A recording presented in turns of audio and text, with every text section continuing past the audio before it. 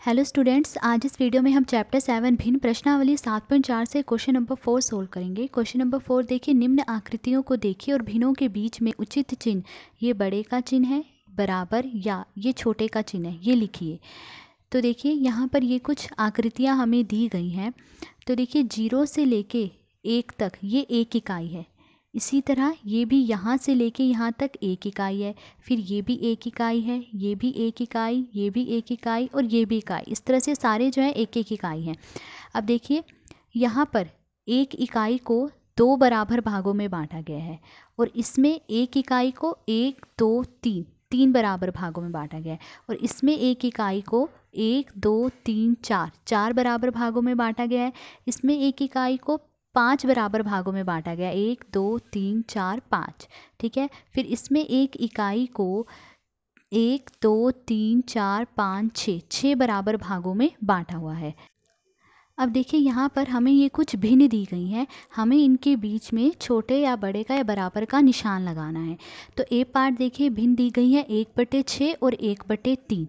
तो यहाँ आकृति में देखिए, एक बटे छः ये है, ठीक है, और एक बटे तीन ये है। तो हम पहले वाला देखेंगे। हम एक बटे छः देखेंगे कि एक बटे छः, एक बटे तीन से बड़ा है या छोटा है। तो देखिए, एक बटे छः, एक बटे तीन के बाई तरफ़ आ रहा है, ठीक है? एक बटे छः, एक बटे तीन के बाई तरफ़ आ रहा है। और हमने संख्या रेखा पर पढ़ा है कि जो संख्याएँ बाई तरफ़ आती हैं, वो छोटी होती हैं। तो यानी एक बटे छः, एक बटे तीन से छोटा है, क्योंकि एक बटे छः, एक बटे तीन के बाई तरफ़ आ रहा है। तो एक बटे छः छोटा है, एक बटे तीन से।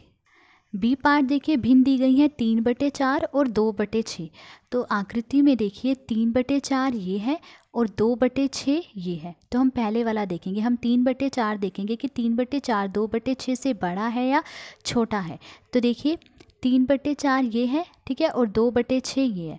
तो जो तीन बटे चार है, वो दो बटे छः के दाई तरफ़ है, ठीक है? तो हमने संख्या रेखा पर पढ़ा है कि जो संख्याएँ दाई तरफ़ होती हैं, वो बड़ी होती हैं।